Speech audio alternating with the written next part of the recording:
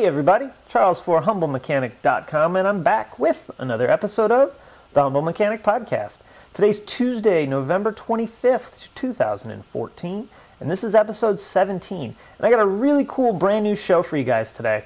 Um, I thought it would be really fun to take a failed Volkswagen part that I replaced, bring it home, you know, maybe disassemble it at, at the house, and, and show you guys sort of what happens and why it fails, and you know some of my theories on, on what's going on with these individual parts. Um, today we're going to start the series off with a water pump from a, I think it was a 2012 GTI. Um, the engine is CCTA, which is a 2.0 liter turbo a lot of times called the TSI engine. Um, this is the water pump that's bolted to the outside of the block. It's driven by the balance shaft.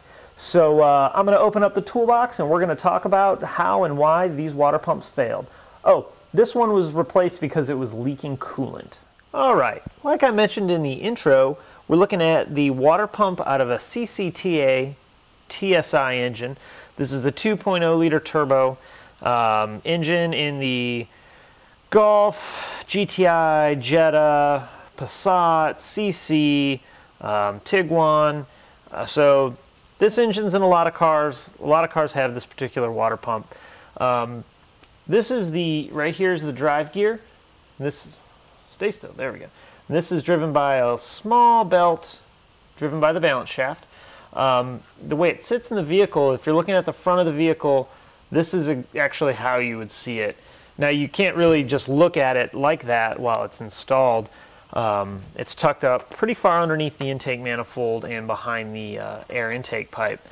So how do these fail? Well, there's a few different ways. One, and the most common one is that they leak. And you'll notice here at the top there's two pin holes, alignment holes here, and an alignment hole here.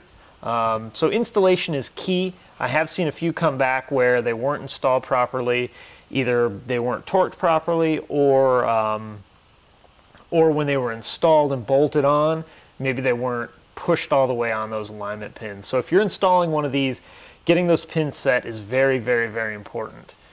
If we rotate the pump around, and this one's actually missing the gasket. It wasn't missing the gasket when I replaced it. Um, let's see if I can get a good shot here. You can see this track right here. That's where the gasket goes um, for where it bolts to the block. And actually what usually happens is they get a little distressed right here, right on that spot right there, right next to the alignment pin, and, um, and this plastic will crack. Um, I've also seen oil leak on them and swell the gasket, and that'll cause them to leak. Uh, but leaks are definitely the most common reason for a failure on this particular part. And this area right here and this area right here are generally the two spots where you'll see uh, plastic deteriorate or a seal expand due to oil. This one didn't have any oil on it. We can see the top's dirty, but it's not saturated in oil. So this was purely just a, a leak from the gasket right here. You can actually see, I don't know if you guys can see that, a tiny bit of distortion right here um, in the plastic.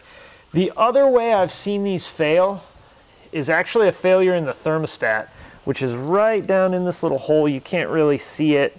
Um, we typically get something like a malfunctioning cooling system fault. Uh, the check engine light will come on. It'll read something like malfunctioning cooling system.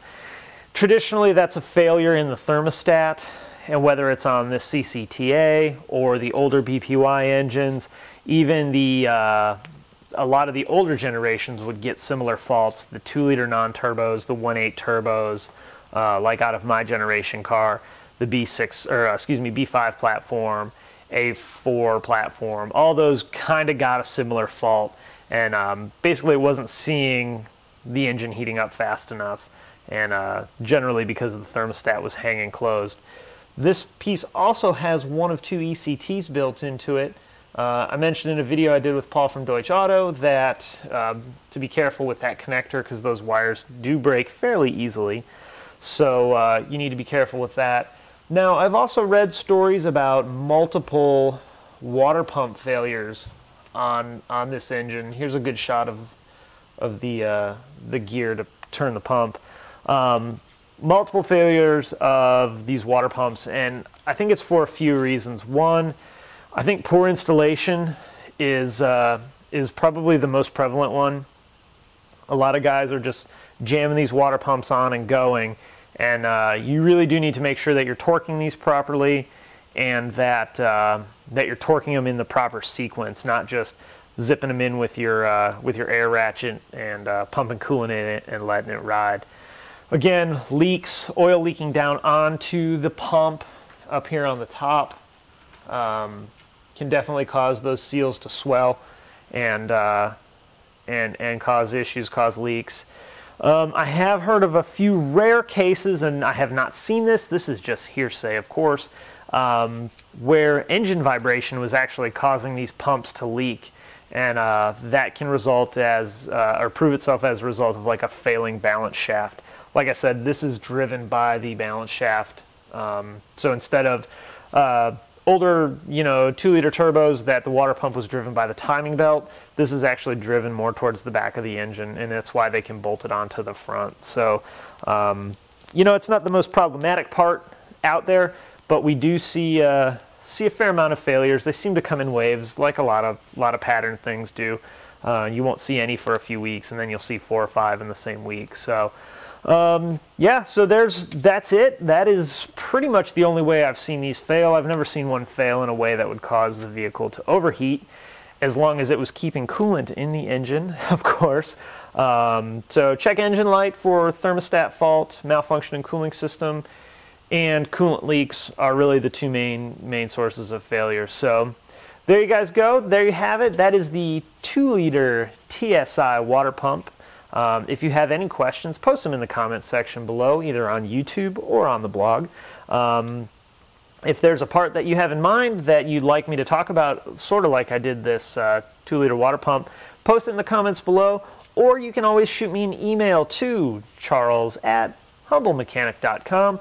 Put something in the subject like um, failed part or question about part. That way I know, uh, you know, I can put you guys in a special folder and uh, and we can talk. I can I can move it to a, a Tuesday show. I think I'm going to make this a regular Tuesday thing.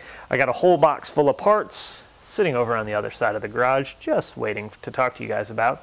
Um, if you like the show, throw it a thumbs up.